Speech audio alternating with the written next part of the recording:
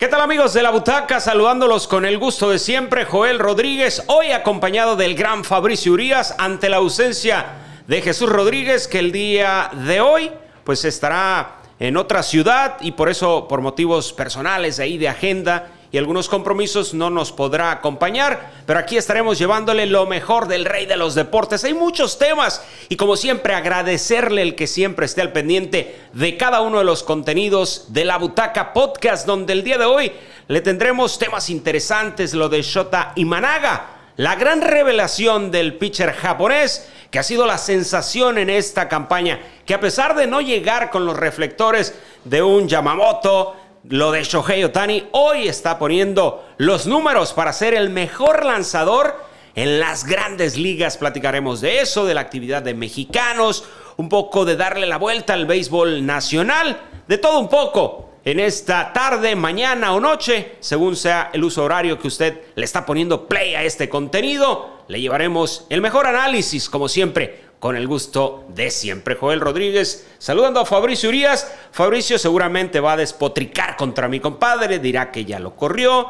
que ha tomado una decisión como el que verdaderamente sabe aquí del tema de béisbol, como nuestro Shohei Otani, pero yo mi compadre lo voy a defender. Fabricio, ¿cómo estás? Como siempre, saludándote con gusto. ¿Qué tal, Joel? Con esa presentación, pues ya se acabó el podcast el día de hoy. Ya me comió todos los comentarios. Estabas preparando algo en contra de mi compadre, ¿verdad? Nos podemos ir. Y sí, efectivamente, tú lo defiendes demasiado. Pero quiero decirles, amables seguidores, primero que nada, muy buenos días, muy buenas tardes, muy buenas noches o muy buenas madrugadas, según sea el uso horario en el que le estén dando play a su dispositivo para conectarse con nosotros. Pero Jesús, el día de hoy, la mujer lo tiene castigado, barriendo, trapeando y lavando losa y planchando la ropa de toda la semana porque el Señor se fue de juerga el pasado fin de semana. Así es de que. Bueno, eso, eso, esa parte. eso, eso no lo voy a negar. Que no lo defiendas tanto porque el tipo está castigado y lo tienen con grillete en su casa y no lo dejan salir. Prueba de ello es que hoy tampoco se presentó al programa de radio allá en la estación. Así es Mi de que. compadre toma las decisiones más importantes en su casa. Él el que tiene la última palabra. Sí, mi vida. ¿Cómo lo sacar que tú digas. la basura, recoger los objetos que puedan causar un peligro para sus niñas. Esas decisiones las toma mi compadre. Definitivamente. ¿A qué hora llevar el carro Definitivamente. Le mandamos un fuerte abrazo. Se encuentra en la Perla Tapatía cumpliendo con la, este, cuestiones laborales y todo el éxito del mundo para él en el proceso que está viviendo en estos momentos. Esperemos que tenga buenos resultados en el proyecto que está encaminado en estos momentos. Así es que a darle nosotros el día de hoy, el changarro está bien eh, cubierto en estos momentos y sabemos que Jesús eh, está monitoreando perfectamente la Butaca Podcast desde donde se encuentra y sabemos que todo lo que estamos haciendo aquí lo estamos haciendo con la mejor vibra, con el mejor ánimo y sobre todo que a él también le vaya bien en sus proyectos personales y laborales. Así es que toda la vibra del mundo para él, donde se encuentra en estos momentos. Antes de cantar el play ball, Fabricio, nada más notificarte que hoy te puedes extender más que nunca.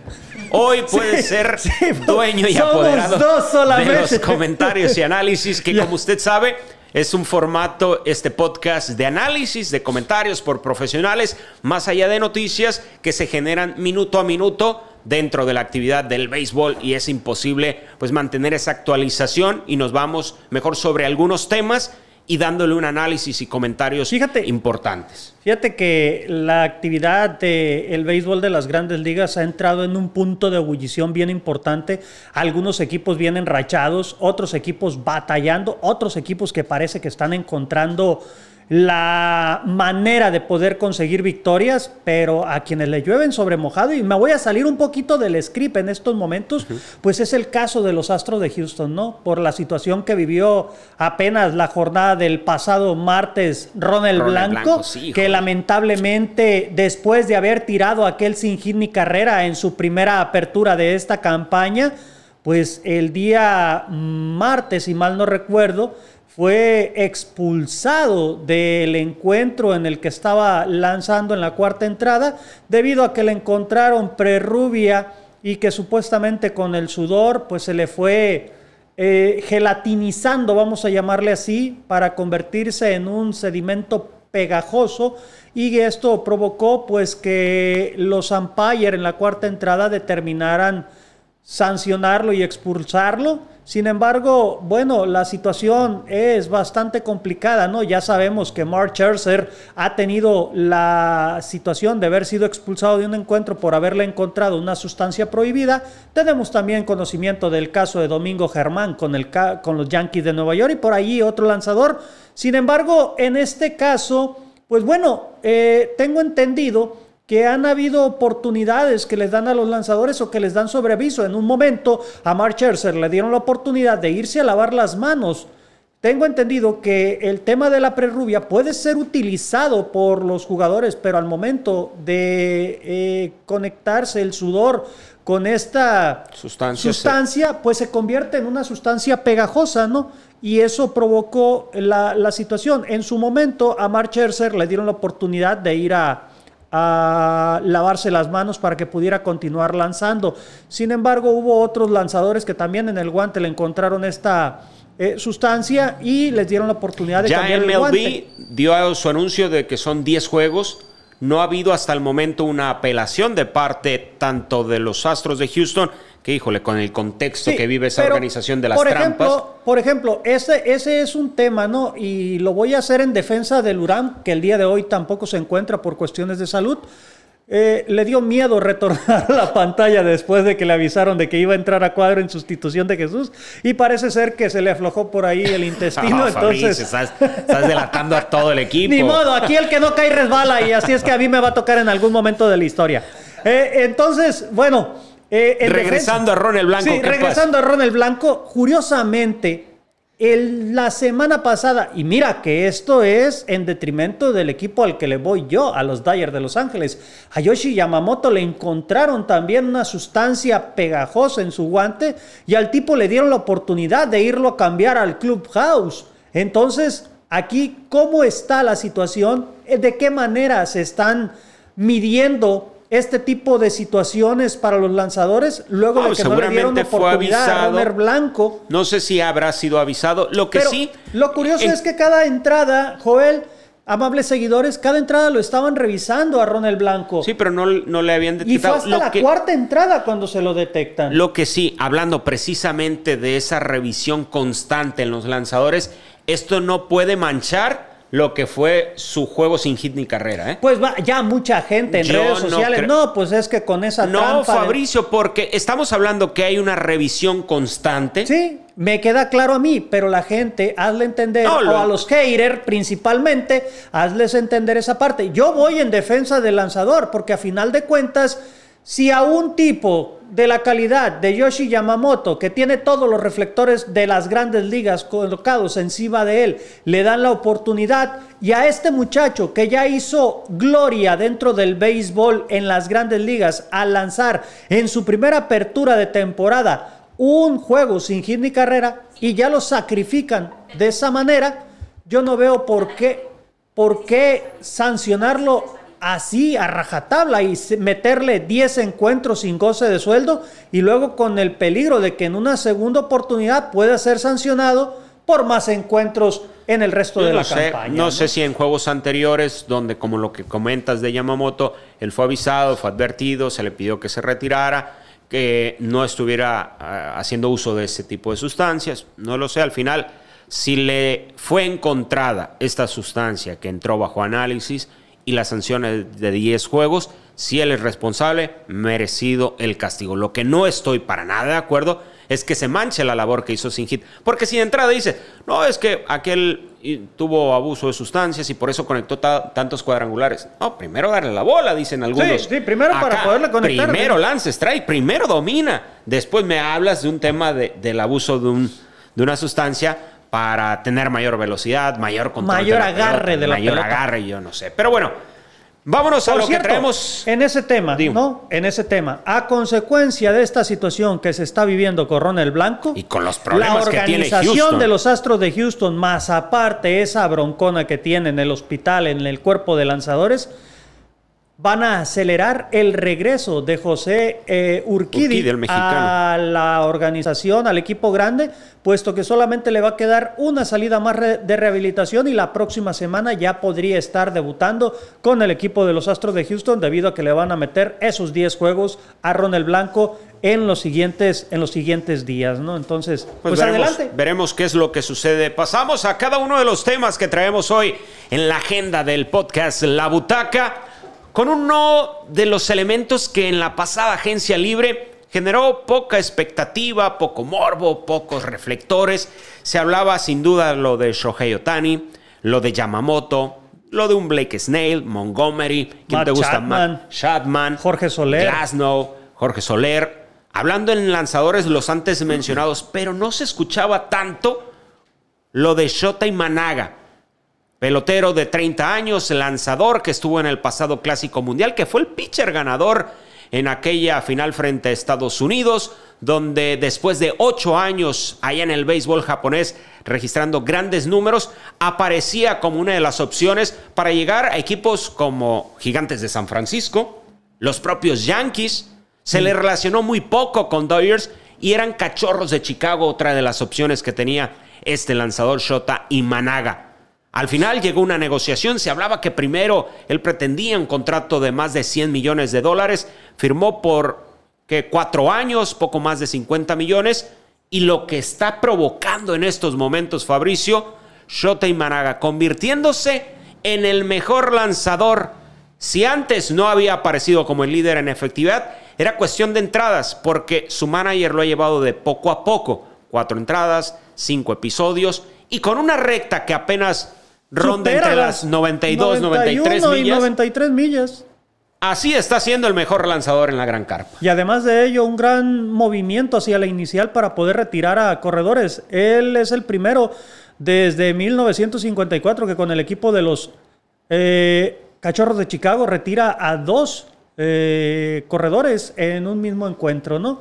Entonces es un tipo que en sus primeras ocho salidas tiene la cuarta mejor efectividad en la historia de todo el béisbol de las grandes ligas desde que en 1913 comenzaron a llevarse las estadísticas de efectividad en carreras limpias admitidas y donde por cierto, curiosamente, un mexicano es el que ostenta el récord en esas primeras ocho salidas y es nada más y nada menos que el gran toro de Chihuahua, Fernando Valenzuela, con un microscópico 0.50 de efectividad mientras que Imanaga lo tiene con 0.96. Por ahí aparecen otros tres peloteros lanzadores, pero la mayor referencia para nosotros aquí en México, pues es nada más y nada menos que Fernando Valenzuela, que incluso dentro de esas ocho salidas también tiene el récord de más juegos completos.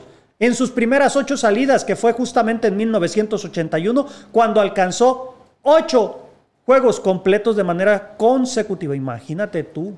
Oye, Fabricio, 72 entradas lanzadas. ¿Quién lo iba a decir? Que hoy estamos hablando, mientras en los propios cachorros se hablaba de, de un Kai Hendrix, de lo de Wicks, hoy estamos hablando de la dupla Imanaga Javier Azad. Que, que, curiosamente iniciaron como cuarto y quinto en la rotación, ¿no? No eran las primeras opciones y hoy se han convertido en la realidad de este equipo de cachorros que los tienen marchando de esa manera. Mientras se hablaba de otras duplas, que menos de ellos. Sí, que por cierto, en estos momentos, a la hora que estamos grabando el podcast, Javier Azad está trepado en el montículo lanzando, buscando mejorar su efectividad y conseguir de una vez por todas su cuarta victoria, que en, por cierto, en las últimas cuatro salidas solamente ha alcanzado un triunfo y fue justamente ante los cerveceros de Milwaukee el, C, el 5 de mayo de este, de este mes donde superó al conjunto de Milwaukee por pizarra de seis carreras. Ahora, Fabricio, me llama la atención que con una recta que ronda en las 92, 93 millas,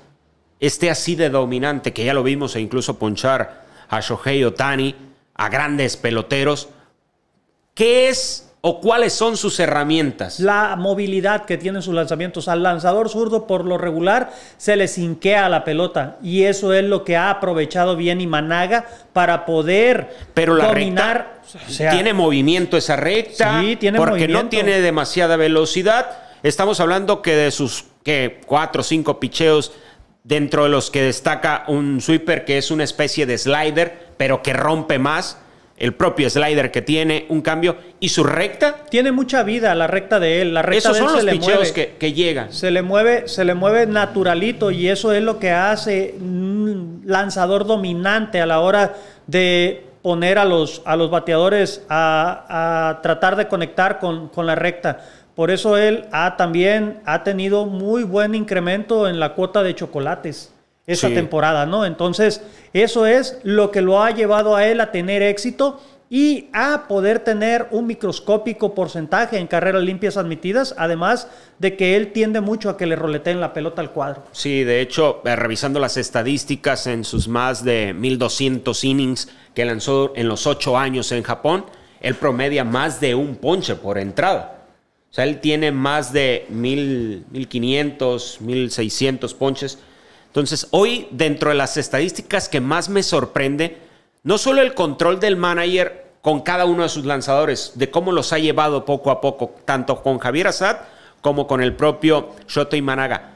Revisaba las estadísticas y Shoto Imanaga promedia poco menos de cuatro lanzamientos por oponente. Eso te habla del control que tiene sobre sus lanzamientos, el dominio sobre sus bateadores y ese microscópico porcentaje de carreras limpias admitidas al momento. Sí, es un lanzador que, te digo, y además que es agresivo para trabajar la zona interior. Él es un lanzador que le gusta mucho trabajar las esquinas de adentro para los bateadores y eso es lo que lo hace también. 36 hits en 46 entradas, 0.96 un de microscópico. efectividad. Y repito, él ya por la cantidad de Y innings, chécale cuánto le batea a la oposición. la cantidad de innings que, que llevaba en anteriores eh, meses o, o jornadas, no le permitía estar como líder de efectividad. Luego, hace, hace un par de semanas, eh, justamente con Kenta Maeda de los Tigres de Detroit, con el mismo Yoshi Yamamoto y él mismo tuvieron una jornada fabulosa que por primera ocasión en la historia para los lanzadores nipones se, se dio. El haber ganado eh, cada uno de ellos sus respectivos encuentros porque lanzaron el mismo día y nunca en la historia del béisbol en las grandes ligas tres lanzadores japoneses habían tenido la oportunidad de ganar sus encuentros eh, en la misma jornada, ¿no? Y eso lo lograron hace apenas no más de 15 días. Si, por ejemplo, si los primeros encuentros fueron de cuatro episodios, de cinco, ya para sus últimas dos salidas ante Mets y ante San Diego, alcanzó las siete entradas. ¿Y qué es lo que ha hecho él? Él poco a poco se ha ido adaptando al béisbol americano. El manager Craig Counsell, que es un tipo que sabe cómo manejar el picheo, que ha trabajado mucho con jóvenes, ha llevado a este lanzador de menos a más y prueba de ello. Por eso él no aparecía dentro de la efectividad, porque en los primeros encuentros trabajaba Sí, a mí cuatro me- entradas, Maestra. cinco entradas. Maestra la manera que, han que ha llevado. Y no eh, nomás a él, también A Javier Craig a a, a Imanaga, los ha llevado a la perfección de la mano de, para colocarlos, como dices, de Y estar cuarto, quinto en la Javier rotación. Assad también tenía esa misma tendencia, ¿no? De llevarlo poco a poco con la intención de no sobrecargarlo, porque sabemos que esta es una temporada bastante larga, son ciento, más de 160 juegos, y sabes tú que apenas eh, van, si acaso, 10 salidas para el lanzador que tiene más apariciones en cuanto a los inicialistas. Y todavía le quedan algo así como algunas 20, 25 salidas más en esta temporada, ¿no? Entonces es algo bastante largo y comenzarlos a, a trabajar 6, 7, 8 entradas, pues bueno, al final de la temporada van a llegar prácticamente exhaustos a la recta final, ¿no? que fueron muchos años lo- los que Craig Council estuvo en, en Milwaukee y parece que va a echar raíces también acá en Cachorros Pues con la proyección que está, está teniendo. Es el manager mejor pagado de todas las grandes ligas con casi 60 millones de dólares por tres años. y si lo no que les pueda, los que le pueda generar. Ojo también, hablando de contratos, son después de esos cuatro años, pide una extensión o estará, estaría pidiendo una extensión Imanaga, donde se hablan de millones y millones de De dólares. cientos de millones de dólares. Ahí sí se va a poner al nivel de Yamamoto, se va a poner al nivel de Shohei Otani. Híjoles. Y si sigue dando esos resultados, olvídate. Vamos a ver si los cachorros de Chicago tienen para pagarles esa, Ahora, lo, esa cantidad. lo que recibió los 13 puntos y fracción no son para nada despreciables. Para lo que, Lo que está respondiendo. Lo que está respondiendo y lo que les está resultando. Pero bueno, ahí está Y el es un- momento que vive. Y es un tipo que seguramente va a estar en el, en el juego de estrellas. ¿eh? Sí, por, por lo que está llamando la atención, por el ser de la comunidad oriental. Y ojo, y ojo, el trabajo que está haciendo Shota Imanaga podría estarle re- este, robando reflectores en algún momento de esta campaña al mismo Yamamoto, ¿no? No, ya lo está haciendo. Sí, por eso te digo, porque la, la prensa japonesa tiene una cobertura bastante extensa en el Chávez Rabin. Y en el Wrigley Field hay pocos. ¿Que te lo quieres llevar a los. Dyers o qué? Pudiera ser, ¿por qué no? No, ¿Por hombre? Fabricio. No, no, no. Hay que ser honestos. Hay que ser honestos. Eh, está bien en, en- en Chicago, pero lo que digo yo es que en cualquier momento esa prensa va a voltear a ver a Shota y Managa y muy probablemente pudieran estarle robando reflectores a los jugadores nipones de los Dodgers de Los Ángeles. Pues ojalá que también por ahí Javier Assad encuentre grandes opciones y oportunidades porque vive también gran momento el mexicano. Ya que estamos hablando de mexicanos, hay que darle la vuelta al cuadro para ver las, los momentos que viven peloteros como Joey Meneses, quien lamentablemente después de vivir una gran jornada, hace un par de días de cuatro imparables, pues revisamos y, y ha entrado en una racha de par de encuentros negativa, que si sumamos los últimos 10 encuentros donde ha alcanzado poco más de 30 turnos, para ser específicos, 37 turnos, ha conectado solamente 8 imparables. Me pareció, pues, para la anécdota ese momento de, meterse a la casa de los Mediarrojas de Boston y que en pleno 10 de mayo en pleno Día de las Madres acá en México, le haya podido conectar ese cuadrangular para su madre como regalo, pero lamentablemente el mexicano, a pesar de ser de los líderes en carreras producidas de su equipo, de imparables, pues no le alcanza para hacer ese cuarto bat de poder que, le, que debe de ser en un equipo de grandes ligas. Joel, sabemos que Joy es un pelotero que no se caracteriza por tener poder.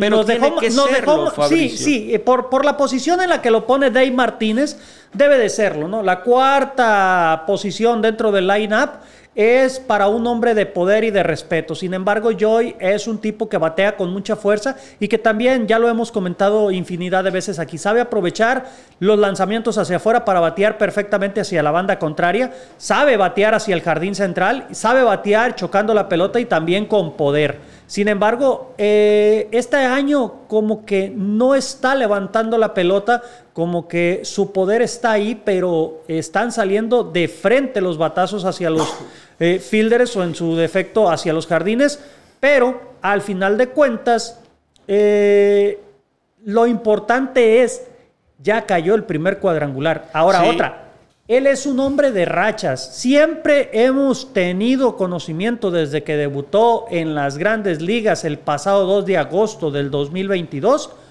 que Joey Meneses es un tipo de rachas. Te puede tardar cinco juegos sin dar un imparable y de repente se destapa tres o cuatro encuentros conectando de a dos, de a tres. Incluso ya es el cuarto juego en su carrera que tiene cuatro juegos conectando al menos cuatro imparables en una jornada. El pasado día martes, en el primer encuentro de una doble cartelera, se fue de 4-4 con dos carreras impulsadas, dejando en ese momento un porcentaje de 236 con el Madero.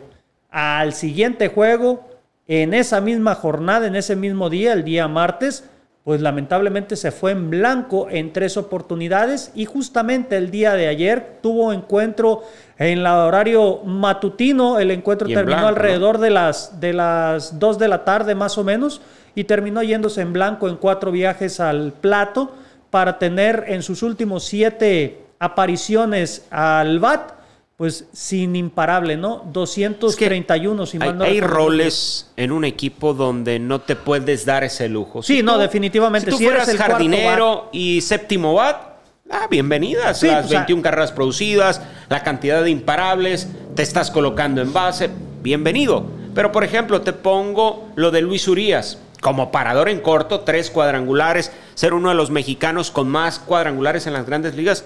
Bienvenido el reconocimiento. sí, sí, sí, Pero si te colocan en Marineros de Seattle como eh, tercera base, las esquinas tienen que aporrear. Tienen que responder. Tienen que tener power, tienen que responder. Entonces, Luis Urias tiene tres cuadrangulares. No son suficientes para una esquina caliente. No.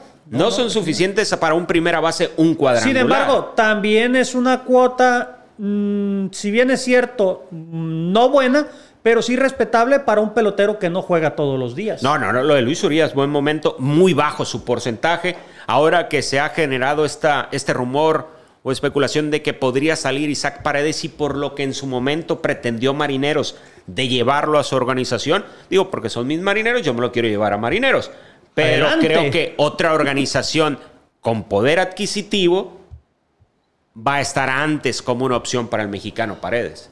Mira, Porque ahí está Caminero, que es una de las opciones para cubrir la tercera base con, con las rayas de Tampa Bay y seguramente es lo que está empujando a este rumor de la salida de Isaac, ya que estamos hablando, dando la vuelta al cuadro de, de los mexicanos. Si hay la oportunidad, lo va a buscar un equipo que tenga aspiraciones no solamente a entrar a playoff. ¿Cómo? ¿Y mis marineros no tienen? No, no, claro que Ah, sí. no, Pues si no prueba me de los ellos son los. No, no, no, no, no. Por eso te estoy diciendo. No, están líderes ahorita en la división. Por eso te estoy diciendo. Son los líderes de la división oeste y es una división bastante competida. Sí, en primer sí. lugar, porque ahí está el campeón de la Serie Mundial del año pasado. Correcto. Ese es uno. Ahí nomás. Y la otra es que esa es una de las ah, divisiones que siempre se ajusta y se aprieta demasiado en la recta final de la temporada. Faltando un mes, tres, cuatro equipos de esa división siempre se ponen calientes y se ponen al rojo vivo durante el último mes de la campaña, Los o sea, marineros. De los hecho, propios marineros, marineros, soltó Rangers y el Paul equipo de los Astros. Y se terminó a,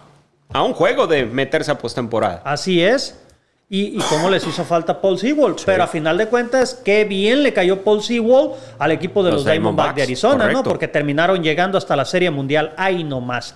Y bueno, en este caso, Isaac Paredes, si lo llegan a contratar o a buscar, si llega a salir de las rayas de Tampa Bay, que por cierto, en la última jornada del día martes, también se despachó con la cuchara grande, impulsando otras dos carreritas más. Si mal no recuerdo, creo que ya llegó a 30 eh, fletes a la registradora, bateando arriba de 300 de porcentaje. Eso es bien Eso importante, a es pesar de que se, común, ¿eh? en- a pesar en de que, sí, a pesar de que se llevaron la derrota. El equipo de los Rays de Tampa Bay en ese encuentro y en ese encuentro por primera vez en toda la temporada los mexicanos que militan en esa organización terminaron jugando en ese encuentro. De- se marcó el debut de Jonathan Aranda, que terminó yéndose en blanco en dos viajes al plato. El caso de Randy Rosarena, que parece ser que la masa muscular ya le está rindiendo frutos en cuanto al poder ofensivo, pero no en cuanto a contacto con la pelota, porque sigue bateando lo que pesa en libras, 160. Y en este caso, en cuanto a cuadrangulares, ya conectó su octavo palo de vuelta entera y lleva este, más de eh, dos decenas de carreras impulsadas. Eso es positivo. Mientras él esté conectando cuadrangulares y esté remolcando carreras, ¿qué le hace que esté batiendo por debajo de los 200, pero que sigue impulsando carreras? Eso es bien importante para una organización en un pelotero de las características de Randy. Por otra parte, Lamentable la actuación de Manuel Bolón Rodríguez, el primer yucateco en llegar a las grandes ligas, puesto que trabajó una entrada, recibió par de carreras y terminó llevándose la derrota. Sí, híjole, Entonces, la- lamentable. ahí sí, resultado. lamentable. Pero en beneficio de la Legión Azteca, por el otro lado, Brennan Bernardino terminó llevándose la victoria al trabajar una entrada en la borda. ¿Quién mexicano? ¿Quién dices? Brennan Bernardino lo toman como mexicano en Major League Baseball y ¿Cómo? apareció en la lista de jugadores preconvocados para el Clásico Mundial del año pasado. Brennan Bernardino, aquel, que lanzó tipo para que charros. El jugador más valioso de la temporada 2021-2022 con los Charros de Jalisco. Correcto. Ahora en la gran carpa con los medias Y rojas Jarren Oso. Durán, que también para muchos no lo consideran No, mejor mexicano. hablemos de los mexicanos, después darle paso a los mexicoamericanos. Javier Azad tiene oportunidad el día de hoy en que estamos grabando el podcast. Todavía ese juego está en trámite, pero Javier Azad tiene muchas posibilidades de poder ir en búsqueda de su cuarta victoria, aunque sabemos que el sinodal que tiene enfrente es uno de los amplios favoritos, no solamente para estar en postemporada, sino para llegar a la Serie Mundial, los Bravos de Atlanta.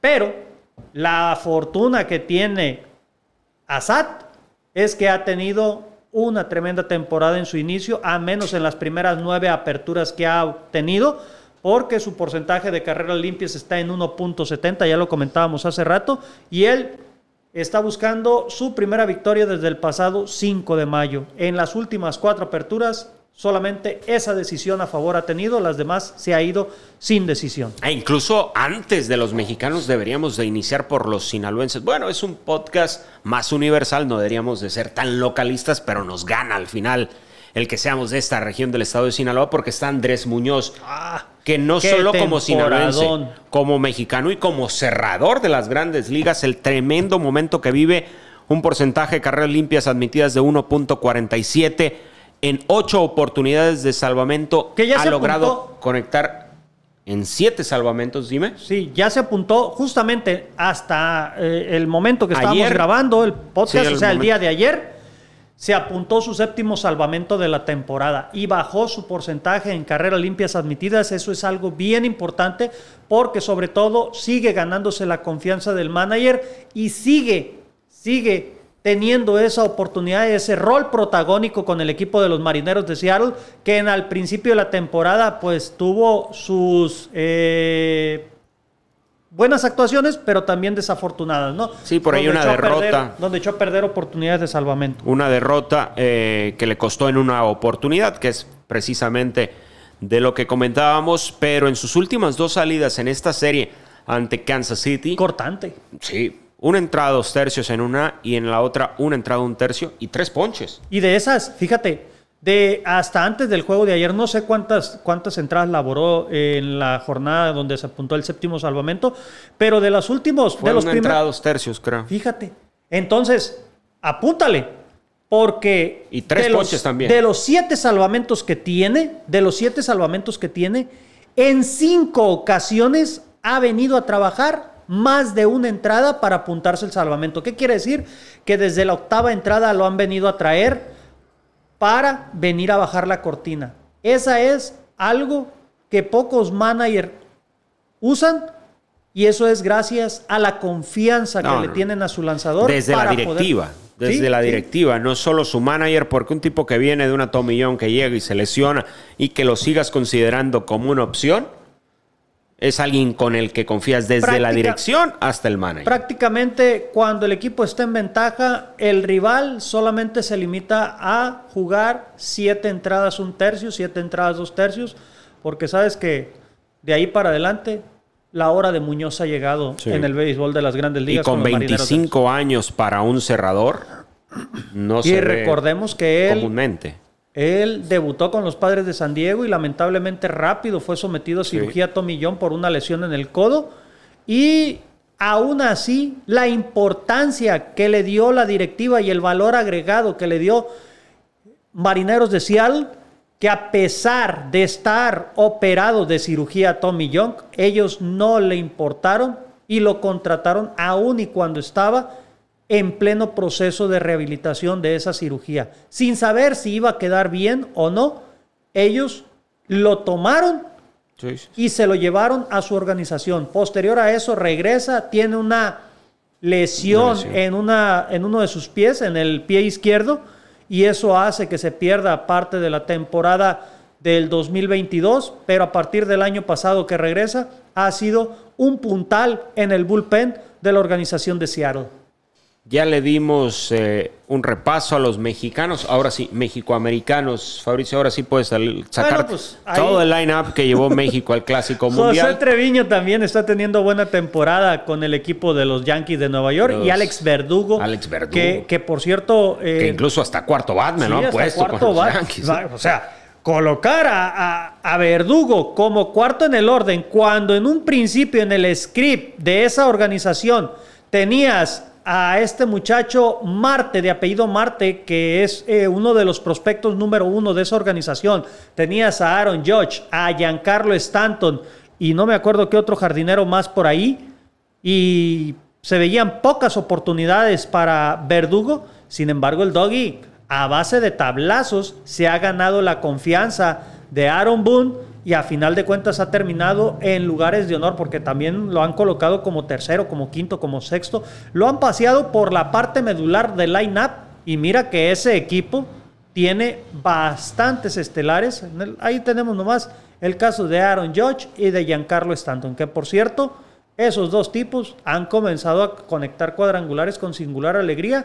Y a Juan Soto, ni qué decir, a Juan Soto le ha caído perfectamente bien la franela de los, bombarderos del Bronx y a final de cuentas está teniendo una buena temporada. Pero bueno, él tiene que hacer lo suyo para que en las negociaciones del próximo año venga esa firma que él busca. 2.47 de porcentaje para, para Verdugo, 5 cuadrangulares y el tipo está on fire, como decimos acá en, la pelota local, ¿no? En lo de Isaac Paredes son 8 cuadrangulares y 23 carreras producidas. Una buena cuota buena cuota. Sobre todo el promedio, a mí es lo que me llama la él atención. Él está liderando siete departamentos a la ofensiva dentro de la organización. 303 de porcentaje, el departamento de cuadrangulares, carreras impulsadas, si mal no recuerdo, y ya los demás este, carreras, eh, hits conectados también.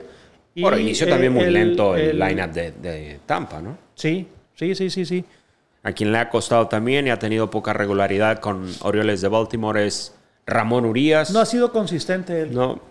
No ha sido eh, consistente y además de, que el tercera base que ellos tienen, pues es un tipo que, que la verdad está para cosas grandes. Sí, lo traen entre tercera, segunda con las oportunidades, algunos juegos que ingresa de reemplazo. Eh, por ahí ya dio cuadrangular, tres carreras producidas, pero ha sido poco lo que le ha aportado Ramón Urias a, ese equipo de Orioles de Baltimore. Pero ese es un, un breve repaso de la actividad de mexicanos hasta el momento, lo que nos da gusto y ojalá que la próxima semana podamos comentar es sobre el momento de Javier Assad que sigue encabezando a esta delegación mexicana, mientras que lo de Julio Urias sigue pues detenido en cuanto a la situación deportiva. Pero por ahí hubo ya algún mensaje, ¿no? Sí, pero todavía no abogado, De un abogado especialista en, en temas de migración pero ese abogado no trabaja para MLB. No, no trabaja para MLB, pero bueno, conoce de leyes. la sanción de MLB sí. y que tendrá que aplicar en Japón, supongo, ¿no?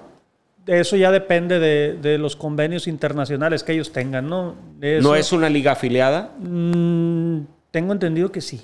Pero bueno, el tema aquí es que él pidiendo un permiso y gozando de buena conducta y cumpliendo con Siempre y cuando no hay una sanción de MLB, Así es cumpliendo con todas las, este, pues vamos a decirle, ¿no? Las sanciones que se le fueron imputadas y gozando de una buena conducta, él pudiera conseguir un permiso por seis meses para ausentarse y poder estar trabajando en alguna liga del extranjero, ya sea en Japón o en México, ¿no? Pero bueno, vamos a ver cómo va este procedimiento. Lo que sí es que, pues esas, aunque es un abogado en los Estados Unidos, conoce del tema de ascendencia salvadoreño, tengo entendido, y con licencia eh, en ámbito jurídico desde 1993, un tipo ya de edad avanzada, 69 años, que bueno, eh, no es tanto, ¿no? Pero bueno, a final de cuentas ya es un tipo que tiene bastante, Edgar Quintanilla, si mal no recuerdo, creo que se llama él. El, el, abogado que conoce de estos temas y que para el, periodista Fernando Ballesteros, hay que darle el crédito a quien lo merece, ¿no?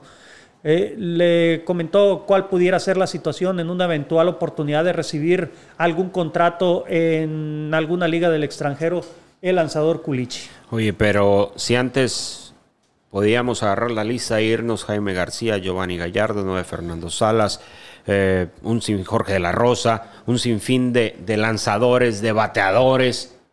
Hoy la lista es corta se resumen unos cuantos. Sí, pues sácale la cuenta. En el equipo de nativos, nativos, nativos.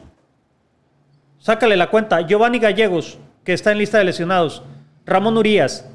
Luis Urias. Luis Urias. Eh, Joey Meneses. Isaac Paredes. Isaac Paredes. Jonathan Aranda. Manuel Rodríguez. Víctor Arón González, que por cierto, esa es una incógnita, ¿no? Ya Víctor Arón tiene varios días que no aparece en escena dentro de la organización de los Yankees de Nueva York. ¿Y quién otro? Y, José Urquidi, que está a punto, a ah, Andrés Muñoz, son 10. ¿Quién y Urquidi Por eso, ah, Urquidi que está a punto de regresar. En ese regreso. Pero bueno, es, es la actividad de mexicanos y ojalá pueda regresar Urquidi y tener la oportunidad algún otro mexicano para tenerlo en acción en el mejor béisbol del mundo. Fabricio, regresemos al béisbol mexicano ahora con nuestra Liga Mexicana de Béisbol a la que Trevor Bauer le ha quedado muy chica, aunque ya se No sé si eso le va a terminar por generar un problema o fue un tema acordado con Diablos Rojos del México. Es hablar más de Trevor Bauer por lo que está haciendo deportivamente, pero quisiera poner un tema en la mesa. Aprovechar que, que hoy somos dueños y señores del podcast y, ¿Y así qué? como quisiste abrir el programa con otro tema, hoy lo que Trevor Bauer hace cada juego y cada viaje que hace con Diablos, documentar todo. Ya le tiró a, las, a, la, pro- a la propia directiva de Diablos. Si viaja y ve un estadio en malas condiciones, también lo dice. Todo lo documenta. Él mismo va narrando por donde va pasando. Y si las regaderas están en mal estado, el campo no se regó, no se pintó. Como aquel juego donde, que fue ante el equipo de Charros, donde, ¿contra quién fue? Zaraperos que el personal de mantenimiento se decidió no, no trabajar y por ahí alguien más pintó la raya y le hicieron más, la hicieron por un lado de la base. Eh, fue una fiesta completa. ¿Te imaginas llegando a. Trevor Bauer? Vean la línea y la línea como Como la rumorosa. la rumorosa. ¿Te imaginas? Para quienes no, generará conocen- eso un problema. Para quienes no conocen el país, La Rumorosa es una carretera que está justamente entre Mexicali y Tijuana. No, yo iba a decir una, que está rumbo al Dorado, iba a decir la curva sierra, del Mezquitillo, la pero, curva de Mezquitillo. pero me iba a ver más localista todavía, Sí, entonces. la Rumorosa es una carretera que está subiendo la sierra de Sí, creo Baja que fue personal en Saltillo. Si no, discúlpeme la directiva de Saltillo, Bueno. pero por ahí se manifestó personal de, de trabajo, decidieron no, no laborar ese día. Para variar. Y otros ¿Qué le- haría Alfredo Ames? Otros por ahí deci- eh, decidieron entrarle al quite y pintaron mal el campo. Pero regresando a lo de Trevor Bauer, ¿no, ¿no consideras que pueda esto ocasionarle un problema? Y perdernos de- del lanzador de decir, ah, pues si no les gusta me voy. No creo, yo creo que más que nada él está, sigue empecinado, ¿no? Y prueba de ello son las declaraciones que, que hizo en sus cuentas de redes sociales, donde un, un aficionado le dice, es que tú bien pudieras ser uno de los haces de la rotación de los peores equipos dentro del béisbol de las grandes ligas. Y él rápido le responde y pone el dedo en la llaga, ¿no? Soy de los mejores, incluso me atrevo a decir que no hay más de uno, dos y quizás tres lanzadores por encima de mí en estos momentos en cualquiera de las 30 organizaciones del... Y es cierto.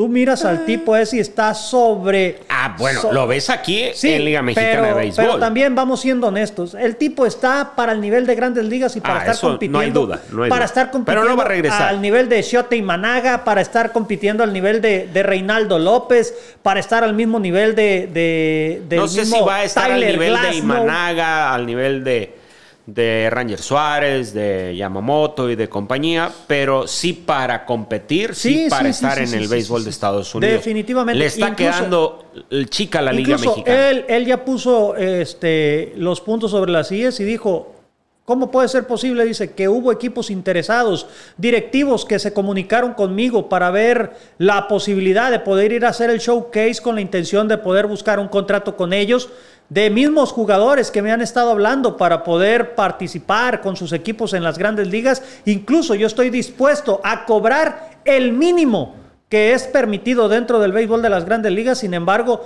una vez que llego con los directivos para entablar alguna conversación, todo se detiene porque hay una persona en todo el béisbol que no quiere que yo regrese a lanzar en algún equipo en las grandes ¿Y a ligas. quién responsabiliza? A Rod Manfred. Ah, pero es el alto comisionado. Pues es el alto comisionado y mientras él diga no, las demás organizaciones pues van a seguir diciendo que no. Ese es el problema que hay ahí.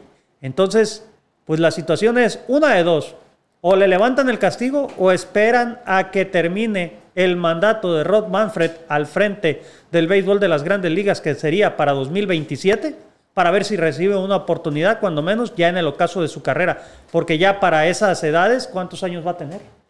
Pues que se cuiden todos a donde vaya Trevor Bauer, porque si no tienen comida después del juego, si no tienen instalaciones de primer nivel, Que, que no vaya al- al estadio Conspiradores, Que no porque- toque ir a conspiradores. porque sí, me los va a exhibir, pero feo. Cuiden todo, la seguridad, hasta el clima, lo que le mandarán de comer y todo, porque a su propia organización dijo que después de los juegos, pues no se estila como en Japón o en grandes ligas. Pero fíjate, curiosamente- Donde hay alimentos Fíjate, después de los curiosamente, juegos. eh, estaba viendo el, el- el video y la verdad, él está emocionado de estar en la Ciudad de México. sí, sí, sí. Se siente contento estando ahí. Y yo creo que él, después de que pase el juego de estrella, le quedan dos salidas más. Hoy, el día de ayer, justamente que estábamos en grabación, él tenía programada salida por la noche. O sea, anoche justamente él tenía salida. No sabemos el resultado porque obviamente el Pero ya después de darse antes. cuenta lo que vuela la pelota en la Ciudad de México, ya decidió salir de la Sí, Ciudad de México. Pero ya se dio cuenta también que, que hay otros parques como el de, el de Puebla donde también vuela con singular ale- alegría la pelota. Ya tendrá que darse cuenta Tendrá también que de- darse cuenta de- y pasearse por otras, por otras escenarios. plazas. ¿no? Y yo creo que las que les va a convenir más es viajar hacia una de dos.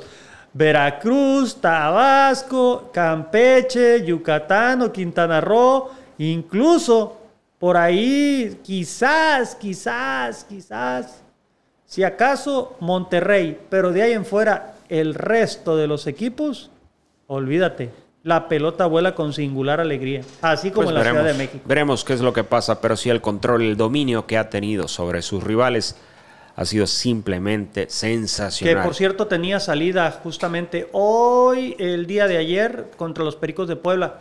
Que por cierto, en la- el segundo choque de esta serie, el equipo de los Pericos le cortó una racha de 10 triunfos de manera consecutiva a los Diablos Rojos del México, luego de que en ese segundo choque Heuri Familia echara a perder la oportunidad de salvamento. Hablando de salvadores, ¿no? De rescatista, de taponeros. Heuri Familia permitió la carrera el empate con un pasaporte y anotaron de caballito y posteriormente vino el oportunísimo Orlando Piña. ¿Cuántas veces no vimos definir partidos aquí en la Liga Mexicana del Pacífico con el equipo de los algodoneros de Guasave? Que por cierto ahorita tenemos información de algodoneros de Guasave. ¿Qué pasa con algodoneros? donde este, pues definió el Los encuentro. ex dirigidos Los- por Oscar Robles. pues ahora resulta que se van a internacionalizar ¿Cómo? los, los algodoneros de Guasave. Acaban de anunciar a través de su área de comunicación que la próxima pretemporada se va a convertir en una pretemporada cosmopolita. Así lo he bautizado yo, una pretemporada cosmopolita, porque van a viajar hacia el viejo continente, a Europa, para estar en el Béisbol Cataluña Cup un evento organizado dentro de la Semana del Deporte en Cataluña y el cual es eh, encabezado por el Club Barcelona. Quiero pensar que es el mismo club que dirige al Barcelona FC dentro de la liga. ¿no? tienen equipos de Entonces, baloncesto, tienen- de otros deportes. Pero la intención es que en España pueda comenzar a detonar una liga de béisbol profesional y para ello han invitado al equipo algodoneros de Guasave, que por cierto no solamente van a participar en ese evento internacional, previo a su partida a Europa, ellos van a estar participando como lo hicieron el año pasado en la Baja Ferris 2024, la cual será en La Paz, Baja California, donde ellos tuvieron participación el año pasado y a su retorno de la madre patria estarían participando también en el Mexican Baseball Fest que se celebra justamente todos los años, que ya es una tradición en Phoenix, Arizona. Justamente eh, por primera vez ellos van a estar viajando hacia el lejano eh, continente, al viejo continente, en una nueva experiencia para ellos donde también van a estar algunos equipos involucrados de ahí de España con la intención de poder detonar el béisbol profesional en aquel país. Pues que Todavía no hay fechas para llevarse a cabo estas eh, series de preparación que tienen los algodoneros de Guasave, pero Hay pues, lana, ya, entonces. ya tienen Sigue obviamente, imagínate tú. Entonces, vienen con todo todavía esta viajar, temporada. Fíjate bien, si viajar a Phoenix, a la Mexican Baseball Series, se necesita buen billete No, no, no. para el tema de digo. viáticos, para el tema de traslados Hay y todo con eso. qué. Ahora imagínate. De la poca información que ha fluido, ¿no? En Liga Mexicana del Pacífico, Que, por ahí cierto, un movimiento un entre movimiento de, receptores entre sí, Venados, y, el equipo de Sultanes, Sultanes de Monterrey. Kirk y Valenzuela. Sí, fueron los el, movimientos. el- el. Fish, como se le conoce entre los peloteros a Ricardo Valenzuela, un receptor con mucha experiencia.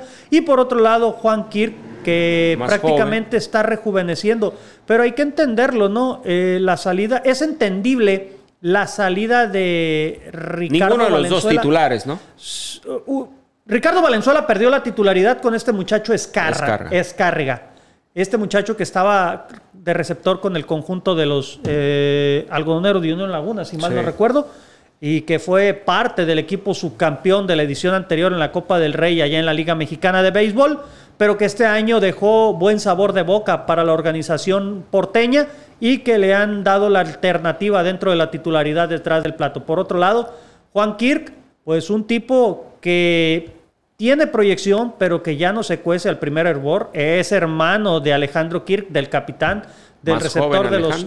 sí, es más joven, Que, Alejandro. Entonces, el muchacho, pues, con la intención de poder encontrar acomodo con los venados de Mazatlán, llega al equipo porteño. Y pues hay que estar al pendiente ¿no? de lo que va a suceder con el resto de las organizaciones, porque ya a partir del mes de junio comienzan a haber movimientos y comienza a haber más información de la Liga Mexicana del Pacífico debido a que ya se viene lo que es las primeras firmas y lo que es los preparativos para pues el draft. Ojalá, ojalá que empiecen a, a sonar ya cada uno de los medios con sus anuncios, con los movimientos para lo que serán las noticias, primeras firmas como lo dices y después movimientos entre algunos equipos. La temporada pasada nos sorprendió que algunos referentes como Ramiro Peña fue cambiado a la organización de Venados de Mazatlán por Ramón La Pulpa Ríos. Y que fue bien importante para llegar a la serie final. Me parece que fue ese movimiento. Para los dos,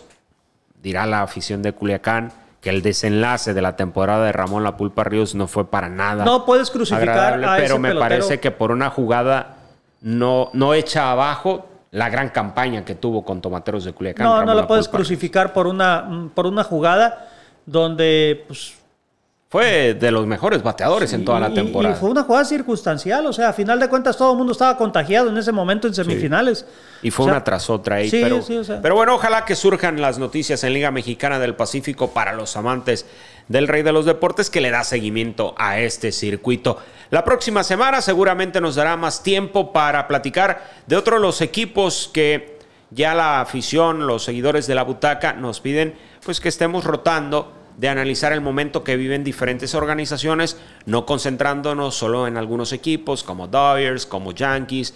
En su momento ya hemos platicado de otros. Eh, viene por ahí Guardianes de Cleveland empujando fuerte, que está viviendo en estos momentos una gran serie frente al equipo de los Rangers de Texas. Están encabezando su división. Todos ellos, me parece que a la ofensiva comandada por José Ramírez, este equipo seguirá dando de qué hablar para el resto de la campaña y ya habrá oportunidad de hablar a detalle de este momento que viven.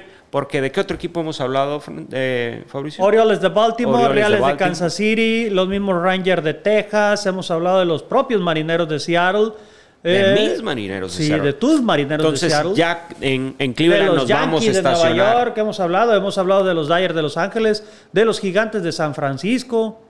Pero en un profundo análisis. De los Cachorros de Chicago. Creo que sí lo merece. Cuando hablábamos de Luis Arraez y ese, ese movimiento que hicieron con Padres de San Diego, nos detuvimos un poco de lo que en los últimos que 12 meses han hecho en contrataciones o renovaciones la organización de padres lo que han gastado miles y millones de dólares en renovar a un Sander Bogarts, a un Manny, Machado, eh, al propio Fernando Tatis. Fernando Tatis años eh, atrás, lo de Cronerwood, y que para el próximo año tendrán que lanzar la moneda al aire si van a la agencia a renovar a Kim o tendrán que esperar para después darle a Luis Arraez el contrato que él está buscando. Y luego, luego la salida en su momento de Jurickson Profari, después regresó, otra vez.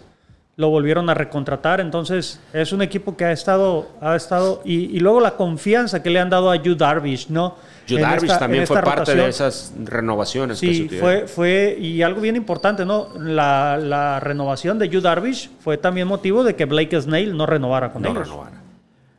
Muy bien, pues llegamos al final de la edición de esta semana del podcast La Butaca, tocando temas importantes, el momento que vive la figura japonesa Shotei Managa, lanzador zurdo de 30 años, que después de 8 años en el béisbol japonés, de verlo figurar en el Clásico Mundial de Béisbol con ese campeonato del equipo nipón, hoy es el mejor lanzador en la gran carpa con la organización de Cachorros de Chicago. También le dimos una vuelta al cuadro en la participación de mexicanos y cada uno de los momentos, así también regresando al béisbol mexicano, información de Liga Mexicana del Pacífico y de todo un poco en esta edición del podcast La Butaca que para usted que nos sintonizó y que no por ahí no agarró los primeros minutos.